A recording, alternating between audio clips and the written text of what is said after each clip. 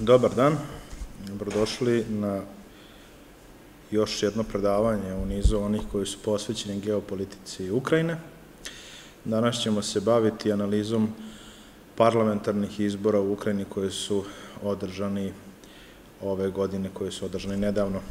Moje ime je Predrag Grajić, ja predajem u Kulturnom centru Novog Sada već neke dve i po godine i želeo bih da iskoristim ovu priliku da se zahvalim direktoru Kulturnog centra, gospodinu Bojanu Panotoviću, na prilici koju mi je ukazao. S obzirom na to da smo danas i ograničeni vremenom, pošto ima i kolega koji će predavati posle mene, ne bih dužio sa uvodom koji je karakterističan svako moje predavanja gde predstavljam šta sam sve do sada uradio u Kulturnom centru, već bih odmah prešao na temu. Mi smo se bavili ove godine na mojim predavanjima geopolitičkom pozicijom Ukrajine već više puta i definitivno jedno od predavanja je bilo posvećeno i analizi predsjedničkih izbora u Ukrajini, kojima sam imao i priliku da prisustujem, odnosno za vreme drugog kruga i održavanja izbora drugom krugu sam bio i posmatrač u Kijevu, odnosno izveštavao sam za nekoliko televizija iz regiona, za dakle, televizije s nacionalnim frekvencijama, za javne servise u Srbiji, u Crnoj Gori, sa izbora u Ukrajini, a bio sam i u izbornom štabu Volodimira Zelenskog koji je i pobedio na tim predsjedničkim izborima. Imao sam priliku da razgovaram i sa njegovim saradnicima i da steknem neku sliku otprilike kako bi njegova vlast mogla da izgleda. Dakle, ovi parlamentarni izbori su i trebali da se održe ove godine, do duše planirano je bilo da se održava u oktobru, dakle 2019. godine, međutim Volodimir Zelenski je odlučio da malo ubrza tu situaciju obzirom na svoju pobedu proleće ove godine, tako da je iskoristio onu priliku koju je imao po ukrajinskom ustavu i ukrajinskom zakonu. Naime, po ukrajinskom zakonu Dakle, kada se formira većina, nakon što se izabere Verhovna rada, Verhovna rada je najviši zakonodavni organ Ukrajine, to je jednodomni parlament, koji broji 450 mesta. U ovom momentu popunjeno je 423 mesta, obzirom na poznatu situaciju na Krimu i u istočnom Donbasu, koji nisu pod kontrolom vlasti u Kijevu, tako da su ta izborna mesta koje su predviđena bila za jednomandatne okruge, odnosno za ona, ona, one izborne jedinice o kojima se po imenu biraju poslanici po većinskom sistemu, su ostale upražnjene. Dakle, u par parlamentu ukrajinski se bira po aktualno važećem zakonu koji će, kako Zelenski najavljuje, promeniti. A, bira se po mešovitom izbornom sistemu, deo poslanika se bira po, po proporcionalnom sistemu, a deo se bira po sistemu, dakle, većinskih izbora i to jednokružnih, jednokružnih većinskih izbora. 424 zapravo, dakle, mesta je bilo u igri ovaj put i toliko je popunjeno, ostatak od 26 koji pripadaju Krimu i Istočnom Donbasu nije. I uprkos tome, po Ukrajinskom ustavu, definisano je da je za većinu neophodno 226 mesta, tako da je ta lestvica čak malo i podignuta, dakle treba vam suštini i više od pola, negde oko 57-8% zapravo treba poslaničkih mesta da biste formirali da biste formirali većinu. Inače, 225 od 450 poslanika se dakle biralo po većinskom izbornom sistemu jednokružnom, ostatak do 450 se birao po proporcionalnom sistemu. Pro, uh, jednokružni izbori su bili na većinskom, na proporcionalnom sistemu se, uh, su se birale dakle, liste po uh, cenzusnom principu, Dontovom sistemu, Dontovom količniku, dakle 5% je iznosio iznosila barijera koju je neophodno ispuniti da biste se plasirali u parlament. Isti je cenzus i za pojedinačne političke partije, grupe građana i koalicije, dakle tu nema nikakve razlike. Izbori su održani 21. jula ove godine i kažem da izbore je došlo jer kada formirate većinu u Verhovnoj radi morate da potpišete koalicioni sporazum koalicioni sporazum se računa da je na snazi dogod su sve stranke koje su formirale posle, frakcije, to se zove političke frakcije, dakle u Verhovnoj radi, dogod su one lojalne tom sporazumu. Onog momenta kad predsednik u Verhovne rade, lider neke od tih frakcija dostavi dopis u kom kaže da oni više nisu deo te koalicije, računa se da vladajuće koalicije više nema, i onda se uh, otvara rok od 30 dana da se formira nova koalicijona većina koalicijnu većinu tada, bez obzira na to da li izlaskom te frakcije iz koalicije izgubljena većina ili nije, ali oni moraju da sastave novi koalicijni sporazum. Desilo se to da je nakon izbora 2014. godine, dakle nakon Majdana, prvo su održani predsjednički izbori u maju i junu, pa potom parlamentarni u oktobru, desilo se to da su većinu formirale partije blok Petra Porošenka, u kojoj su ulazili partija Solidarnost, na čijem čelu je bio bivši predsjednik Ukrajine Petro Porošenko i UDAR, odnosno Ukrajinska demokratska alijansa reformi, na čijem čelu je proslavljeni bokser Vitali Kličko, koji je inače trenutno gradonačelnik Kijeva. Nakon lokalnih izbora koje su održani 2015. godine, on je postao i gradonačelnik Kijeva. Vremenom je ova koalicija prerasla u jedinstvenu političku partiju koja se zove BPP, dakle blok Petra Porošenka, a na čijem čelu je bio Volodimir Grojsman, bivšeg gradonačelnik Vinice, inače etnički jevrejn, i zanimljivo je to da je Ukrajina uz državu Izrael bila jedina država na svetu od 2014. Sorry, ne, Grojsman je došao na mesto premijera 2017. kad je Cenjuk otišao, dakle, da je u posljednje dve godine država Ukrajina bila jedina država uz Izrael na svetu koja je imala za premijera jevrejina, a takođe je i zanimljiva činjenica da je sam Volodimir Zelenski jevrejin i to po oba roditelja i da je danas Ukrajina stvari jedina država uz Izrael koja ima predsjednika jevrejina.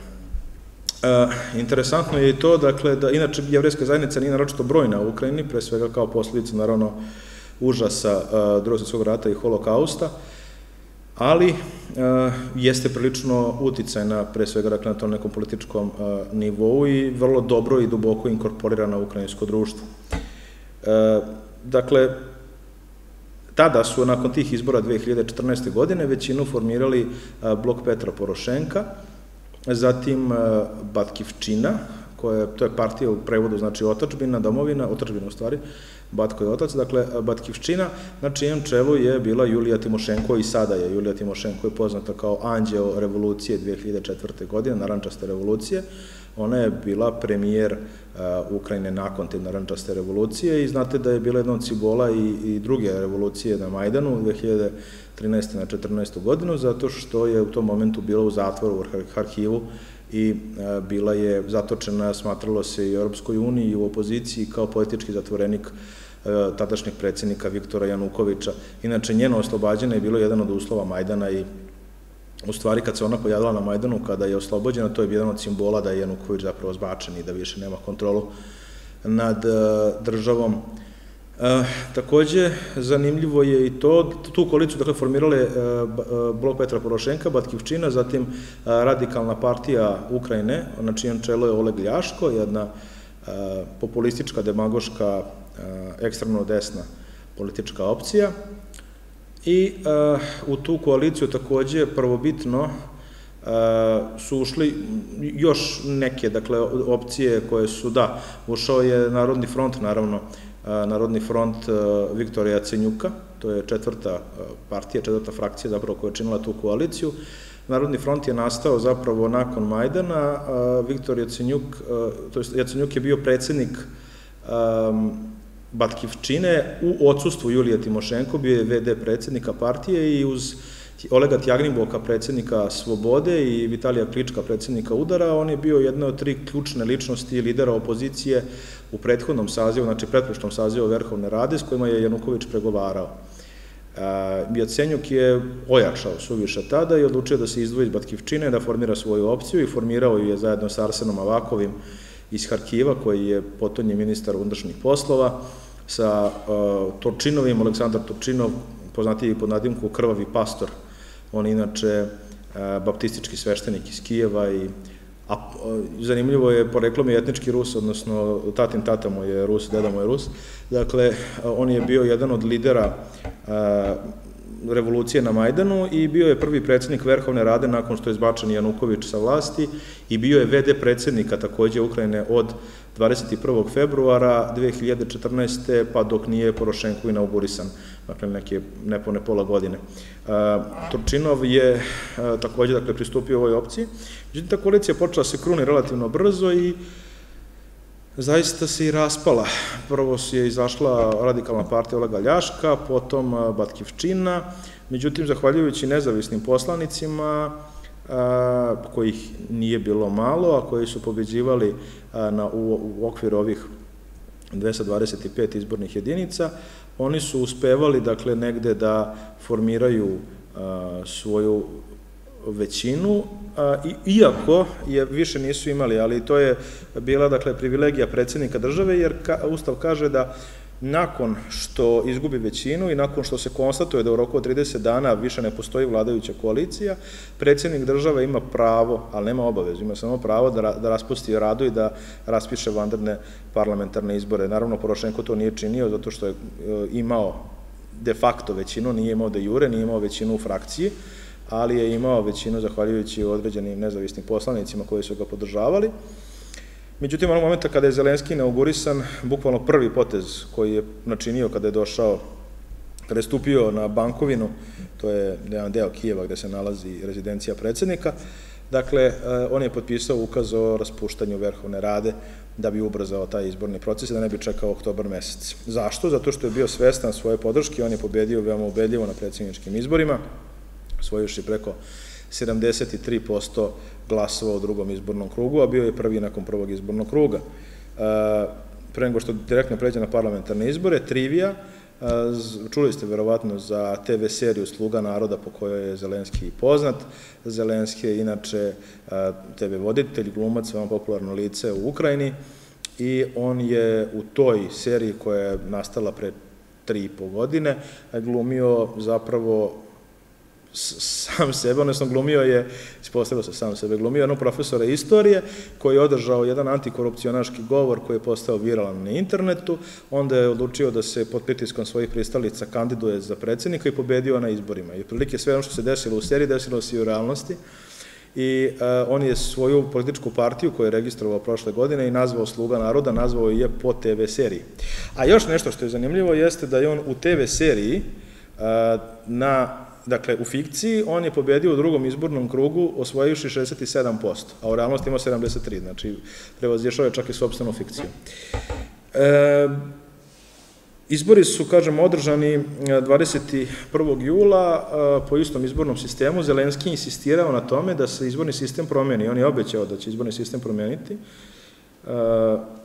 treba da se formira Verhovna rada, sad pa će vratno to i učiniti. Zanimljivo u Ukrajini, kada se raspusti Verhovna rada, ona i dalje funkcioniše, to je recimo različito u odnosu na Srbiju. Kod Srbije, u Srbiji kad se rasputna Narodna skupština više ne postoji kao zakonodavni organ, dakle poslanici a, više nemaju ono, ono, one prave i obaveze koje su imali. U Ukrajini nije tako. U Ukrajini kada se raspusti Verhovna rada, ona i dalje funkcioniše sve dok se ne formira nova Verhovna rada. Znači, po sličnom principu kao što funkcioniše izvršna vlast u tehničkom mandatu, tako i Verhovna rada funkcioniše u sličnom mandatu, dakle do izbora. On čak i nije tehnički, oni u principu imaju pravo da čine bilo šta, osim da donose, valjda ukazuju, ne mogu da menjaju ustav i ne mogu da menjaju izborna pravila. Oni zakone donose redovno, dakle sve do izbora i do formiranja nove verhovne rade, oni mogu da do položenja izbornih rezultata zapravo pre formiranja verhovne rade, oni mogu da donose zakone. To je isto jedan specifikum njihove političke i pravne scene. Dobro, što se tiče izbornih rezultata, kažem, Zelenski je naravno vodio po svim istraživanjima i ovog puta moram da priznam da su se ukrajinski istraživači njene pokazali kao uspešni. Na prošlim izborima i parlamentarnim predsjedničkim mnogo je grešaka bilo, recimo, niko nije predvideo da će Narodni front Arsenija Jacenjuka na prošlim izborima pobediti, a pobedio je sa preko 21%. Istraživači su mu davali između 4 i 11%. Nikomu nije dao više od toga, on je pobedio. E, ovde nije bilo takvih promašaja zaista i manje više su pogođeni izborni rezultati. Pa dobro, možemo e, možda ići i i redom. E, izlaznost je bila 49,84%, što i nije loše, s obzirom na činjenicu da su u izbornom sistemu naravno i oni koji ne mogu da glasaju na Krimu i Istočnom Donbasu, zatim veliki, velika dijaspora ukrajinska, jeste glasala, naravno ne u tolikom broju, i još nešto iz centralne i zapadne Ukrajine, od kako je počela kriza i rat, je otišlo po različitim procenama između miliona i dva miliona ljudi, uglavnom u Poljsku. Recimo, Poljska tvrdi da je primila 2 miliona ukrajinskih izbeglica, koji naravno nisu učestvovali u ovom, uglavnom nisu učestvovali u ovom biračkom procesu. Zanimljivo je i to da za razliku od izbora 2014. godine najveća izlaznost i ovog puta, kao i na predsjedničkim izborima, a to je naročito bilo vidljivo na predsjedničkim izborima, je bila u istočnom i južnom delu Ukrajine, koji je inače izrazito rusko jezičan. E sad, to što je taj deo Ukrajine rusko jezičan ne treba da vas zavara i da kao mnoge moje kolege koje se bave geopolitičkom analizom pomislite, a čuo sam, slušao sam mnogi od njih, koji prilično samovrano nadobudno govore kako je Ukrajina prilično jednostavna zemlja i da je tu situacija prilično jasna, da imate zapadnu Ukrajinu koja je katolička, istočnu koja je pravoslavna, zapadnu koja je prozapadna, istočnu koja je proruska i da je tu kraj uopšte nije tako. Dakle, Ukrajina je mnogo komplikovanija od toga. Samo ću vam reći, na primjer, da je čuveni desni sektor, mnogi će reći i uzloglašeni desni sektor, e, koji je bio paramilitarna organizacija koja je nastala pre Majdana, za vreme Majdana nakon Majdana, a inače poznata je po ekstremno nacionalističkim stavima, šovinističkim, čak i fašističkim, e, da su oni zapravo nastali i razvijali se na istoku države i da su njihove pristalice uglavnom zapravo bile Ukrajinci pravoslavci koji govore kao materni jezik ruski. Takođe, manje je poznato i to da je najveći odziv u ratu na Donbasu, dakle, bio u Dnipru ili bivša Njepropetrovsku, to je grad na istoku Ukrajine.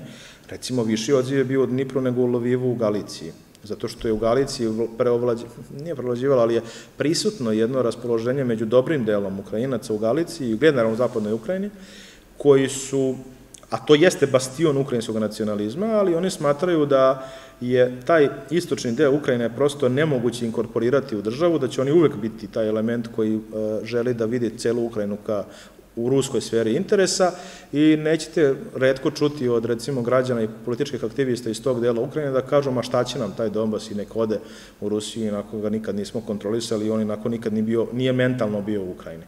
A, na primjer, u centralnoj i istočnoj Ukrajini su baš upravo Ukrajinci patriotske orijentacije išli na Donbas da ratuju, jer su smatrali da to njihova dužnost i da je njihov grad sledeći ukoliko padne kompletan Donbas. Tako da je, kažem, ta situacija mnogo komplikovanija, i, ali ono što jeste činjenica je da se Ukrajina razlikuje, postoje definitivno, ja ne negiram da postoje razlike između zapadnog i istočnog dela i u političkom smislu, ako hoćete severo-zapadnog i jugo-istočnog dela, postoje naravno, s tim što treba naglasiti da je Zelenski, da je to njegov najveći uspeh, Volodimir Zelenski je prvi političar, prvi, prvi lider od osamostaljenja Ukrajine augusta meseca 1991. godine, koji je ujedinio Ukrajinu. Za njega su glasali i na zapadu, i na istoku, i na severu, i na jugu. On je pobedio i u Kijevu, on je pobedio, on je Porošenka u drugom izbornom krugu pobedio na istoku sa 89% i na jugu. Znači, govori on koliko je on je plebiscitarnu podršku dobio bukvalno. A, izgubio je u Lovivu, izgubio je u nekim gradovima u Galiciji, Porošenko ga je tamo pobedio čak i ubedljivo, ali na, generalno gledano na zapadu je opet pobedio. I, znači, samo u tom najtvrđem krilu, da kažem, u Galiciji nije ostvario većinu, mada nije ni bio sasvim odbačen. Tako da, to je možda jedini prostor gde on treba još da radi da bi bio nadpolovično prihvaćen, ali daleko od toga da je odbačen na način na koji je recimo bio odbacivan Januković koji tamo uopšte nije imao glasove ili skoro uopšte, ili komunistička partija Petra Simonenka ili neki drugi lideri koji su izrazito proruske orijentacije bili. Zelenski to nije. Zelenski inače najavljivao i tokom predsjedničke kampanje i parlamentarne kampanje, njegova partija Sluga naroda je to vrlo jasno navela i u političkom programu, da je njihov krajnji cilj, kada gledamo spojnu politiku, dakle jedinstvena, suverena, nezavisna Ukrajina, nikako ne federalna Ukrajina kako Rusija insistira da ona izgleda, inkorporirana u zapadne strukture, odnosno članica Evropske unije i NATO saveza, dakle Ukrajina koja, kako on kaže, baštini vrednosti Majdana Sam Zelenski dolazi sa istoka zemlje, on je vrlo prihvatljiv zbog toga i jugoistok, on je kao ruski govorio kao materni jezik ili zapravo surđik, to je neka kombinacija ruskog i ukrajinskog, to vam je jezik koji baštini uglavnom uh, rusku leksiku, ali ukrajinsku gramatiku nešto tako, dakle neka kombinacija. I uh, on je zbog, i zbog toga bio veoma, veoma prihvatljiv naravno apsolutno svima na tom prostoru.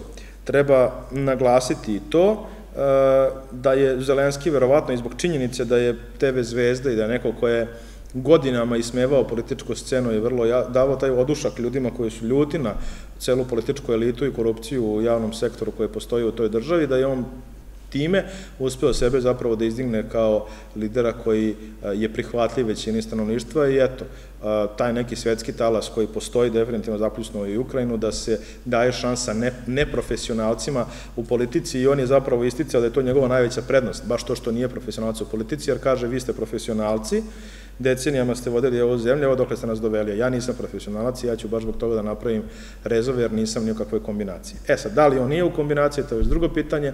Pominju se naravno njegove bliske veze sa Igorom Kolomojskim, to je gotovo i očigledno i jasno da postoje. Igor Kolomojski je jedan od najznačajnijih ukrajinskih oligarha. Forbeska procenjuje na oko 1,6 milijardi dolara vrednosti. Njegovo bogatstvo, on sam je skoro u intervju za RBK rekao da misli da, da misli da je njegovo bogatstvo negde u vrednosti među 7 i 8 milijardi dolara, pa su ga pitali pitali kako ne znate da li je 7 ili 8, on kaže pa ko će to sve izbrojati, kao imam razne aktive širom sveta. Inače, jako interesantna i harizmatična ličnost, veoma popularan među delom, da kažem, desno nastrojenih Ukrajinaca, veoma omražen među onima koji imaju prorusku i rusku orijentaciju, recimo sam Vladimir Putin, što je redko da on to obično ne radi, se jednom prilikom izjasnio baš direktno o njemu, rekavši kako je baš on simbol posrnuća Ukrajine, jer ako je moguće da jedan Kolomojski postane gubernator, a bio je nakon Majdana gubernator Dnjepropetrovske oblasti, onda možete da verujete kao dokle je ta država dogorila kad je on to. E sad, Kolomojski jeste moćan, on je medijski magnat, jedan od likova u seriji Sluga naroda, potražite na internetu, imate kompletno, imate i prevodi na engleski, ne znam da li ima na srpski, mislim da ima čak, dakle, potražite tu seriju, dobra je serija, rađena je upravo, naravno, na televiziji čiji je vlasnik Kolomojski, međutim, uprkos tome, 1 plus 1 se zove, ali uprkos tome, on je zapravo u toj seriji prikazan relativno negativno, odnosno, jedan lik je rađen po njemu kao oligarh koji je apsolutni medijski magnat i koji ne, ne, ne želi da poštuje nikakva pravila, samo želi da ostvari sobstveni profit i interes. I on sam kaže da se delimično prepozna u tom, u tom liku. E, dobro, dakle, kada govorimo o izbornim rezultatima, e, Dmitro Razumkov je bio, inače, lider liste Sluge naroda, naravno predsednik države to nije mogao da u tom momentu bude, odnosno nije želao, mogao je, ali nije želao da bude. To nije bio problem za Porošenka, ali to Zelenski je procenio malo drugačije. I došli smo do toga da je, dakle, Razumko bio taj koji je predvodio njihovu izbornu listu. Zanimljivo je da je u svim oblastima, ako gledamo, pošto se Ukrajina deli na oblasti, dakle, ustavno pravno, da je u svim oblastima zapravo pobedu zabeležila partija, odnosno lista sluge naroda, uključujući grad Kijev koji ima poseban status, izuzev u Donjeckoj i Luganskoj oblasti, gde je pobedila opoziciona platforma za život, tako se zove, za žitija. Naravno, govorimo o onim delovima Donjecke i Luganske oblasti koje su pod ukrajinskom kontrolom, nisu kompletna Donjecka i Luganska oblast, znači nije kompletan Donbas po kontrolom ruskih snaga.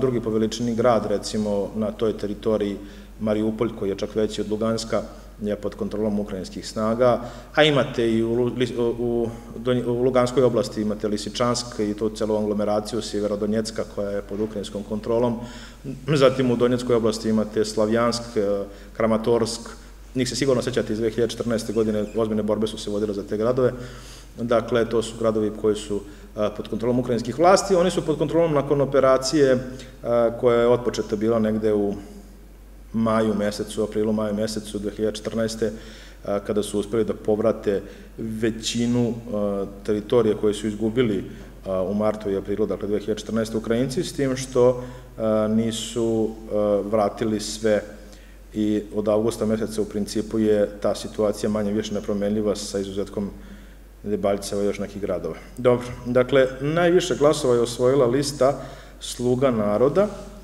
znači čelu je Razumkov de facto, odnosno de jure, ali de facto je Zelenski, to je njegova opcija, oni su osvojili u brojevima 6 miliona 307 hiljada 97 glasova, ili, e, govorimo o proporcionalnoj listi, ili 43,16%, dakle što je rezultat koji donosi apsolutno većinu, 124 poslanička mesta po proporcionalnom sistemu, a čak 130 mesta po većinskom sistemu. Dakle, oni su uspeli da pronađu dovoljan broj kandidata koji je uspeo da iznese te izbore i po većinskom sistemu, što je za jednu mladu partiju veliki uspeh.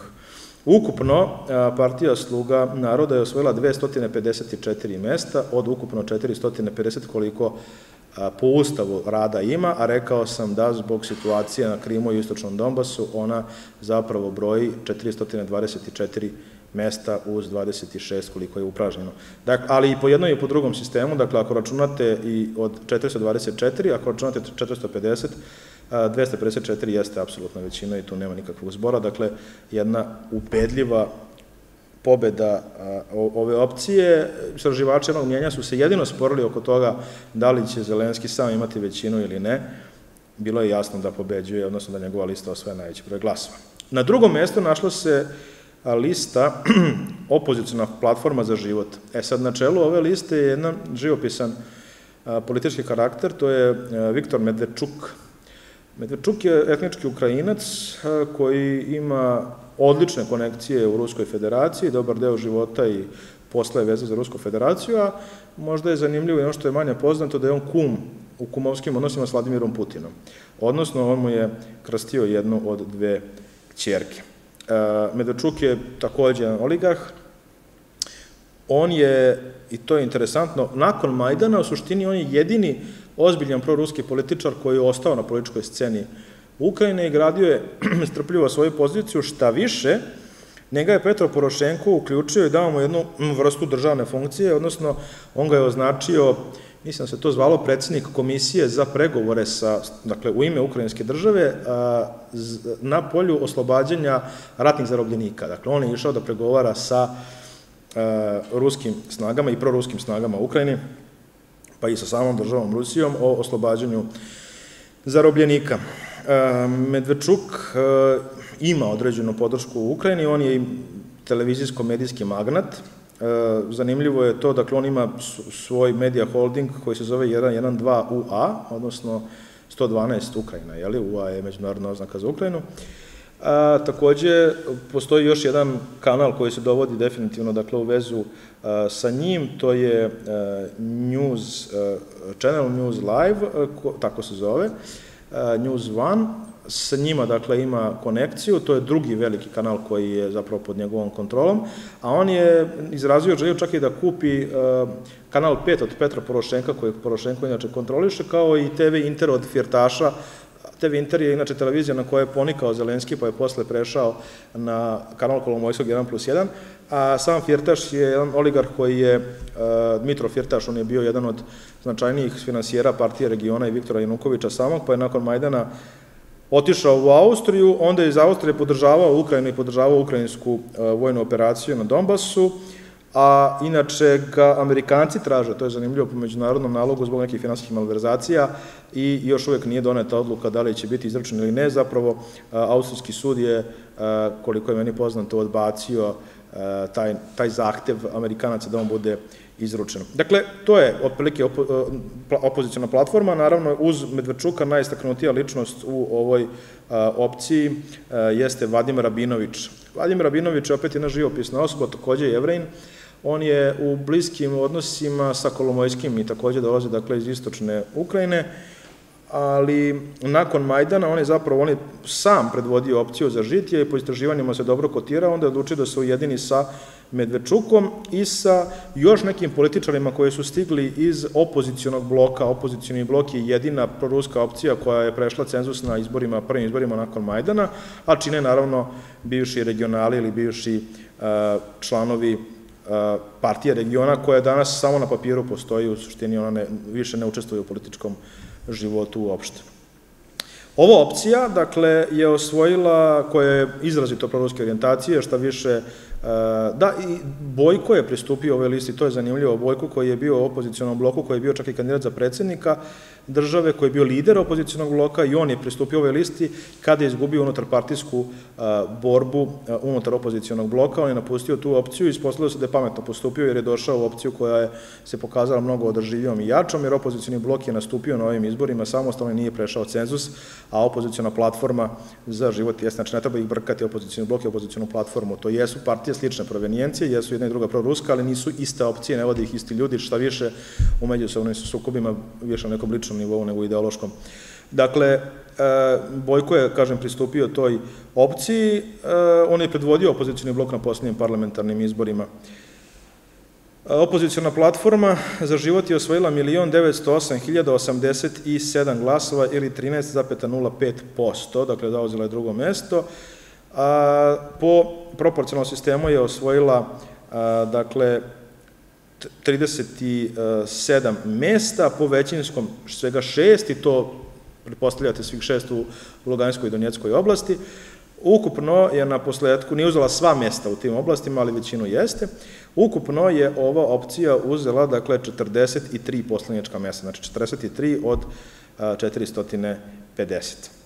Na trećem mestu se našla opcija Julija Timošenkov e, Batkivščina ili Otačbina sa 1.196.256 glasova u procentima 8,18% i e, ukupno je osvojila 26 mesta, 24 po proporcionalnom i samo 2 po većinskom sistemu.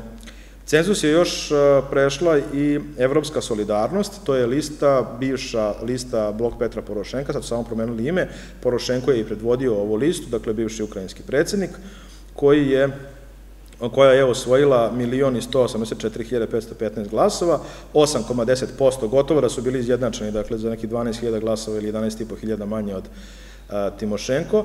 E, inače su osvojili 25 mesta, znači samo jedno manje od Julija Timošenko. Međutim, ovo je ozbiljan pad. Naravno, ova politička lista je na prošlim izborima, recimo, poređenja radi imala 132 mesta, sad ima 25.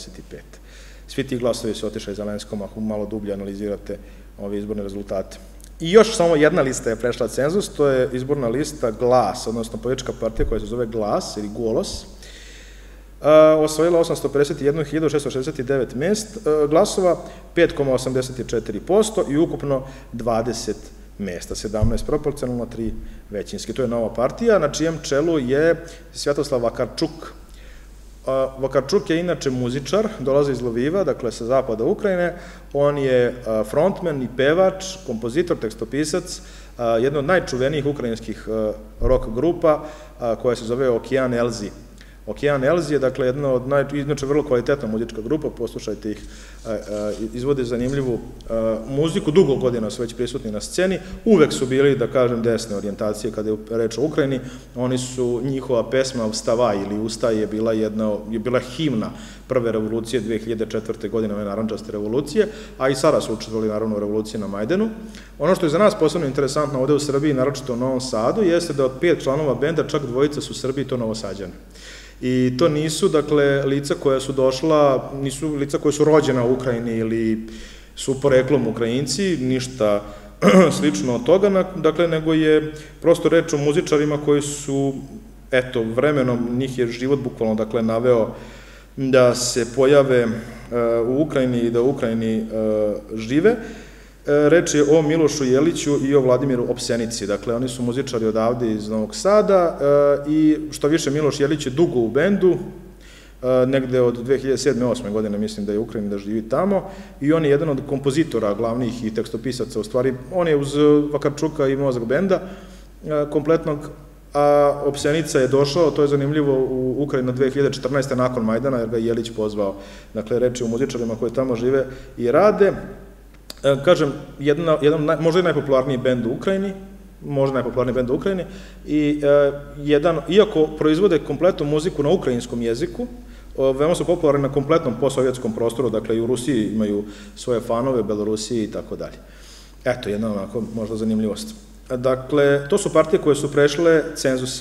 E, cenzus nisu prešle, samo ću na brzinu da pređem kroz te partije, barem one koje su nam interesantnije, jer bilo je zaista mnogo lista kandidovano. Radikalna partija Olega Ljaška osvojila je 4,01%, 1% im je nedostaje, ovo je prvi saziv nakon dugo godina bez Olega Ljaška. Ja volim da kažem da svaka država ima svog Ljaška. Ljaško je jedan klasičan populista i demagog koji je pažno na sebe skretao isključivo skandalima. On je voleo da se potuče u Skupštini, da poliva vodom, čupa mikrofone i tako dalje. I zanimljivo je da mu se partija zove radikalna partija, dakle Olega Ljaška, a um, neko ko je baštinio, ide, on, on kaže zapravo on je svoju ideologiju nazivao ideologijom Velike Ukrajine.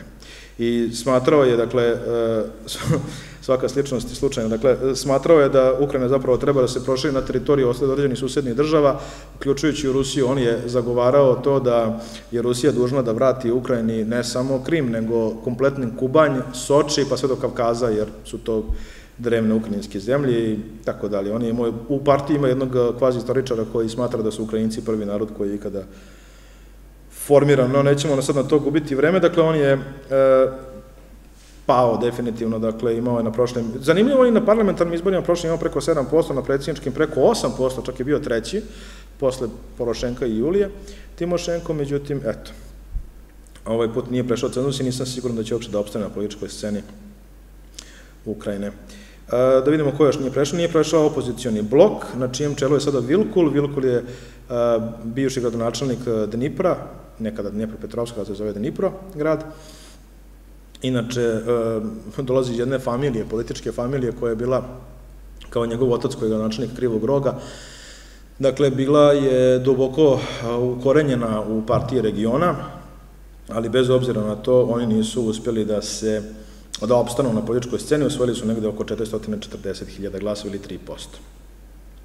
Cenzus nije prešla ni ukrajinska strategija Volodimira Grojsmana, kog sam vam pominjao, bivše premijera Ukrajine, bliskog saradnika Petra Porošenka, koji se odvojio od Porošenka. Oni su uspeli da osvoje e, negde oko 2,4 posto. E, partija Šar je zanimljiva, oni su osvojili 2,2%, Šar je inače YouTube zvezda, veliki kritičar svih vlasti nakon Majdana, bio veliki kritičar i Janukovića partije regiona, ali ih kritikovao sa pozicija socijalnih pozicija i kritikovao ih je zbog viška korupcije u javnom sektoru i u društvu uopšte. Međutim, nakon Majdana on odlazi zanimljivo u Holandiju gde dobija azil i odande konstantno kritikuje ukrajinske vlasti nakon Majdana i zapravo podržava proruske pobunjenike. E, kažem, YouTube je zvezda, popularnije, da duše mnogo je popularnije u Rusiji nego u Ukrajini, ali eto, kandidovao se na ovim izborima i vratio se u Ukrajinu, međutim osvojio je 2,2% i e, bio je daleko od cenzusa. Partija Svoboda, nekada moćna partija koja je pre Majdana imala 10%, partija tvrdo desnih stavova, u određenim momentima i prema određenim grupama i šovinističkih, pogotovo kada je reč o, o Rusima, o jevrejima takođe, Oni su e, na njihovom čelu, dakle, kažem, Oleg Tjagniboh, za njih je glasila uglavnom ta neka, možemo je nazvati, ruralna elita zapadne Ukrajine i Galicije, dakle, ta grko-katolička elita, e, zemljoposljednici, veleposljednici, oni su glasali u, velikom, e, u velikoj meri za njih i, kažem, oni su bili jedno vreme čak i treća opcija po snazi, sorry, četvrta opcija po snazi da nakon partije regiona i nakon Batkivčine i udara, međutim nisu uspjeli da opstanu na političkoj sceni, zapravo još na prošlim izborima, nakon Majdana, iako su ušli u vlast, oni su ušli u vlast odmah nakon Majdana, na prvim izborima, dakle u februaru su ušli u vlast, u oktobru na izborima 2014. godine nisu prešli cenzus, malim nedostavljamo su 4,7%, i već tada kreće pad te partije i videlo se na predsjedničkim izborima i prvim i drugim nakon Majdana da nemaju šanse. Glasove koje su osvajali njihovi kandidati su bili zanemarljivi i evo ovo je definitivno, ja mislim, udarac za ovu nekada, kažem, uticajnu partiju. Građanska pozicija Gricenka koji dolazi iz obaveštanih struktura, samo što je sada penzioner, inače čuven po tome što je rekao nakon Majdana da je dužnost svakog ukrajinskog vojnika, policajca i bezbednjaka da, ukoliko može, ubije Vladimira Putina. On je, uh, on se uvek u istraživanjima kotira dobro i onda kada dođe u izbori zapravo prođe katastrofalno. Dakle, moguće da je problem u tome što nema dovoljno jaku uh, partijsku organizaciju. Osvojio je oko 150.000 glasa ovaj put ili tek nešto više od 1%. I e, od drugih partija koje nisu prešle cenzus, možda je zanimljivo da pomenemo samo još i samopomoć, recimo. Samopomoć je politička partija koja je na prošlim izborima osvojila 11% glasova, sada su osvojili 0,62, dakle potpuno je debakala, skoro su nestali, to je inače partija, ali su ostali parlamentarni, zato što su osvojili jedno mesto na većinskom sistemu, a i Svoboda je ostala parlamentarna zato što je takođe osvojila jedno mesto na većinskom sistemu. Biće parlamentarni opozicioni blok jer je osvojio šest mesta po većinskom sistemu i to su dakle političke partije koje će još uvek imati svoje političke predstavnike. Kažem, samopomoć inače je nastala, bukvalno to je partija koja je nastala nakon Majdana, njen lider je Andrij Sadovi, gradonačelnik Laviva, gradonačelnik Laviva posljednja, mislim, četiri mandata. On je odlučio da izađe tih lokalnih okvira, formirao političku partiju, imao veliku podršku volontera sa Majdana, dobrovoljaca rata na Donbasu, čuveni Semjon Semjonović, koji inače bio vođa prvih oružanih formacija, ukrajinskih oružanih formacija na Donbasu 2014. godine, nakon što je došlo do tog ruskog proleća i nakon što su proruske snage preuzele kontrolu nad većinom gradova u Donbasu, u Donjetskoj i Luganskoj oblasti. On je tada poveo prvu paravojnu jedinicu, jer tad bukvalno policija i vojska još uvijek nisu funkcionisale, pogotovo u tom delu države ne, koja se zvala baš tako Donbas, dakle to je bio i naziv te jedinice, a ono što je zanimljivo, to je njegov alias, nije mu to pravo ime, jer Semjon Semjonović kod Rusa ili Semen Semenčenko kod Ukrajinaca, to vam je kao ono John Doe na, kod Amerikanaca, dakle to su ti alijasi koji se često koriste, ili kod nas Petar Petrović, znate da u onim primjerima formulara uvek vam piše Petar Petrović, jer je to kao najčešća kombinacija, pa tako i ovo nije to njegovo pravo ime, ali je zanimljivo da je On inače podržao Zelenskog na ovim izborima i na predsjedničkim i na parlamentarnim, ali je zanimljivo to da je on etnički Rus i to sa Krima. Dakle, etnički Rus sa Krima koji je poveo prvu oružanu jedinicu Ukrajinaca u Donjetskoj oblasti pre nego što se vojska organizovala i onda je došlo i do ozbiljnih oruženih sukoba između proruskih snaga i ukrajinske armije. I to vam govori ono što sam rekao u prvom delu predavanja, koliko je zapravo Ukrajina komplikovana i da tamo kada mislite da ste uhvatili neku nit po kojoj ćete da svaku narodnu situaciju zapravo definišete, shvatite da to baš i nije tako. E, šta nam govore ovi isporni rezultati? Da se, eto, približavamo se finišu predavanja pa da iznesemo i neki zaključak Govor nam to da je Zelenski potvrdio svoju snagu, da je Zelenski potvrdio to da je reč o potpuno dominantnom političaru, što je u isto vreme i blagoslav i prokledstvo. On sad ima, u svojim rukama drži nož i pogaču, niko drugi nije odgovoran za stanje Ukrajine sem njega. On i, i uopšte ta njegova komanda, kao kažu Ukrajinci, komanda, odnosno ta ekipa ljudi koja je oko njega, uz podršku onih oligarha koji stoje na njegove strane kao što je Kolomojski, moraju doneti određene reforme Ukrajincima i moraju doneti preko potrebni mir. On je obećao da će se boriti za mir u Ukrajini, on je pisao Vladimiru Putinu, želi da se sastane sa njim, on govori o tome da Ukrajina nikada neće odustati od Krima, međutim da će za Krim da se bori političkim sredstvima, znači nije spreman da vodi rat protiv Rusije kada je reč o Krimu i negde to, za, to je stav za očekivati u principu. A kada je reč o Donbasu, uh, on je istakao da Ukrajina želi da vrati kontrolu nad Donjeckom i Luganskom oblašću u potpunosti.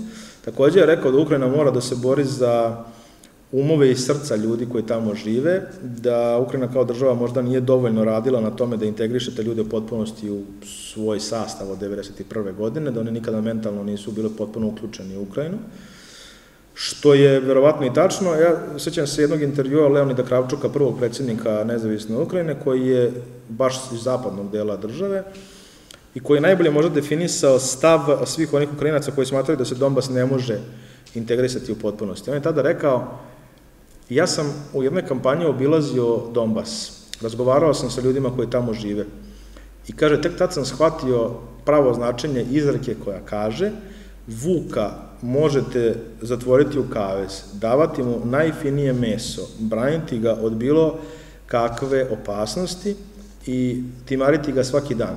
On će svejedno sve vreme gledati u šumu. Dakle, to je neka definicija koju je on dao i rekao bih da je to zaista stav koji preovlađuje među velikim brojem zapadno-ukrajinskih nacionalista, ne i onih koji su na istoku države. Sam Zelenski naravno neće da odustane od te teritorije, ali Zelenskom je najbitnije da nema rata. On želi ekonomski da razvija Ukrajinu, On želi da zaista dođe do demarkacije linije, što nikada nije, znači i Minsk 1 i Minsk 2, to su mirovni sporazumi koji su potpisani između Ukrajine, Rusije i proruskih snaga, to su bile potpisnici. On nikada nije zapravo, uz garanciju Nemačke i, i, i Francuske, a posredništvo Belorusije, sećate se toga normalski format pregovora a, između lidera četiri države, dakle Rusije, Ukrajine, Nemačke i Francuske, uz Lukašenkovo posredništvo. On se, dakle, nikada, nikada nije zaživeo u toj meri u tom smislu što pre svega nije napravljena ta linija demarkacija. Ta linija podrazumeva da određeni broj kilometara i sa jedne i sa druge strane se uh, odnese uh, i odveze svo teško naoružanje i da na toj liniji demarkacije možda dođu, dakle, posmatrači OEPS-a ili neka druga tampon zona da se uspostavi, da ne bi dolazilo do konstantnih sukoba, jer vi danas na Donbasu imate stanje ni rata, ni mira. Dakle, nemate nekih velikih vojnih pomeranja, ali svaki dan neko pogine sa obe strane, bukvalno iz snajperskog hica, iz minobacača, neko zaluta, diverzija se napravi i tako dalje. I um, Zelenski je rekao dakle, da se moraju boriti za umove i srca tih ljudi i najavio je, na primjer, da će ukinuti meru koju su Jacenjuk i Porošenko uveli, a kojom je zabranjena isplata penzija a, svim a, građanima Ukrajine koji su ostali na, kako kaže ukrajinski zakon, okupiranim teritorijama. A, Zelenski kaže da to nije pametna odluka bila i da se zapravo ne možete na taj način boriti za građane koji tamo žive. Drugo, Ukrajinci su, odnosno, on smatra da je crvena linija ispod koje Ukrajina ne može ići federalizacija države. E sad, to je suština, ja bih rekao, ukrajinskog sukoba. I čak bih to i, i, i osudio se da simplifikujem. Ruska federacija danas nema ništa protiv da se kompletan Donbas vrati pod kontrolu Ukrajine, ali uslovi formalno pravno pod kontrolu Ukrajine, što znači da ukrajinski carinici i vojnici izađu na granične prelaze sa Rusijom na toj, tom delu teritorije, da se zaviori, zaviori ukrajinska zastava ponovo u Donjecku i Lugansku na administrativnim zgradama. Međutim, oni insistiraju na tome da se Ukrajina federalizuje. Dakle, da te dve oblasti, ili jedna oblast, kao god da se definiše, postanu sastavni deo Ukrajine, ali kao federalni subjekti, što znači da bi imali veoma visok nivo samouprave i da bi imali e, pravo veta na određene državne odluke u Kijevu. Dakle, na taj način bi zapravo Rusija mogla da vrši kontrolu i da utiče na odluke e, centralnih vlasti Ukrajine, što će reći na celu teritoriju države Ukrajine. To je njihov cilj bio od početka 2000, tog ruskog proleća 2014. godine. S druge strane, Ukrajinci nisu spremni na to, e, ni Porošenko, ni Zelenski, Čak i ako bi neko od njih intimno to i prihvatio, to politički ne bi mogao da preživi, to je sigurno. Imao bi novi Majdan. Tako da se to neće desiti i oni čak i po cenu toga da se nastavi sa istrpljivanjem resursa na, ta, na to stanje rata ni mira, neće prihvatiti federalizaciju države. Tako da, jedino što sad ostaje kao pitanje jeste da li će i kada zapravo neko od te dve strane popustiti ili ukoliko ne, po, znači ili Rusija da odustane od federalizacije i da makar dođe do demarkacije linije, ili Ukrajina da a, odustane od svog tvrdog stava da nema federalizacije Ukrajine, ukoliko ni jedni drugi ne popuste, mi ćemo ovo stanje imati još jedan dugi niz godina i mislim da, to sam i ranije iznosio kao prognozu, da nam se da nam je u izgledu neka situacija slična onoj koju imamo na Gorno Karabahu, dakle, između Azerbejdžana i Jermenije, evo, od 93. godine, kada je tamo uspostavljeno primirje, vi imate baš tu situaciju. Ni rata, ni mira, formalno pravno je to sastavni deo Azerbejdžana, jer Nagorno Karabah niko ne priznaje kao nezavisnu državu, baš kao što ni DNR i LNR niko ne priznaje kao nezavisne države, čak ni Rusija,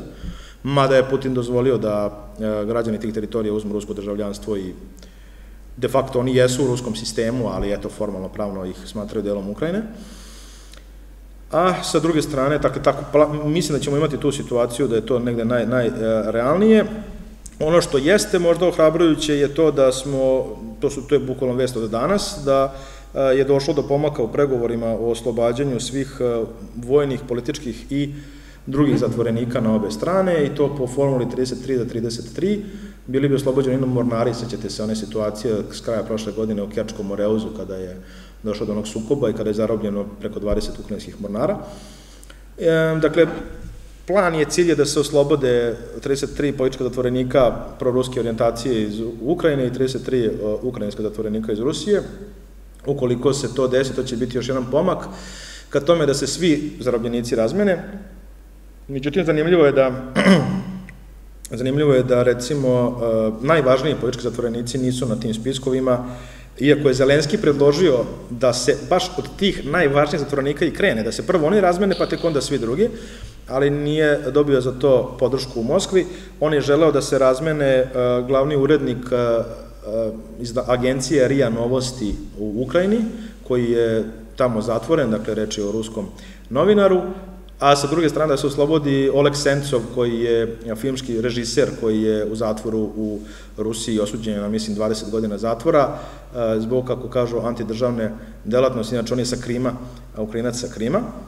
Zanimljivo, za Sencova se zauzeo i Nikita Mihalkov, proslavljeni ruski režiser, inače blizak prijatelj Vladimira Putina, koji je čak i javno apelovao na vlasti da ga razmene ili oslobode. No, to se, kažem, još uvek nije dogodilo razmena zarobljenika i demarkacija ratnih linija na Donbasu bi bili zapravo najveći uspeh Volodimira Zelenskog, ima da mogao se posveti ekonomiji. Zelenski inače koncipirao svoju politiku pre svega na jačanju IT sektora, na jačanju preduzetništva i, kako kaže sam, na liberalizaciji ekonomije države i društva. I završit ću sa tim. Doneo je odluku koja bi trebala da, kako kaže, pospeši i turizam i privredu u Ukrajini. Govorimo o tome kakvi su zapravo njegovi politički pogledi, dakle oni su izrazito zapravo liberalni. On želi da na za sada ograničenom broju punktova, pominje se šest punktova u Ukrajini, napravi ukrajinski Las Vegas odnosno da to budu dakle teritorije na kojima će biti legalizovana prostitucija, droga i kocka, a to će biti dakle ograničeni kvartovi gde će jeli privlačiti pre svega sa poslovjetskog prostora, ali i iz Evropske unije jer uh, Ukrajinci sad imaju dosta dobar sistem bezviznog režima jer mogu da putuju u šengenski prostor i odale takođe mogu da putuju građani, recimo ni nama ne trebaju vize kada idemo u Ukrajinu, dakle žele da privlače turiste iz raznih delova Evrope i sveta i da na taj način, kako kaže Zelenski, uh, država počne da ubira porez od nečega što inače već postoji, jer objektivno je li to, to delovanje i, i te, ta vrsta aktivnosti već postoji u državi, samo što on sad želi da ih stavio neki, neku vrstu legalnih okvira, to je neki njegov cilj. Vidjet ćemo, ambiciozni su mu planovi, on smatra da je za Ukrajinu neophodan novi maršalov plan, on smatra da se Ukrajina može i mora vezati ekonomski i privredno za Zapad, pre svega za Evropsku uniju, ali i za Ameriku i zanimljivo Kinu. On često Kinu pomenja kao državu koja je potencijalno veliki ulagač u Ukrajinu, što ona nesumnjivo jeste, jer malo je poznato da je, na primjer, u prve dve godine nakon Majdana Kina uložila preko 3 milijarde dolara u ukrajinski agrarni sektor. E, takođe, Kina ima velike planove sa izgradnjom određenih dodatnih portova u Luci Odesa, e, izgradnje infrastrukturnih projekata. Oni žele da Ukrajina bude jedan od hubova na putu svile, ali vidjet ćemo naravno e, i, i da li će i kako na, na takve planove reagovati i Moskva, koju nikako ne možemo isključiti iz bilo koje načina kada je reč o političkoj sudbini ukrajinske države. Toliko, ukoliko imate nekih pitanja, tu sam. Ukoliko ne, ne bih više oduzimao vreme održano kolegi Despotoviću. Mi se vidimo u septembru sa nekom novom temom. Verovatno ćemo ponovo se vratiti korak unazad i obrađivati određene istorijske teme kada je reč o Ukrajini i o državi. Prošli put smo došli do, odnosno na prošloj istorijskoj temi smo došli do te carske revolucije i situacije u Ukrajini tada. Sad ćemo možda malo više obrađivati Ukrajinu u okviru i u vremenu Sovjetskog savjeza. Hvala.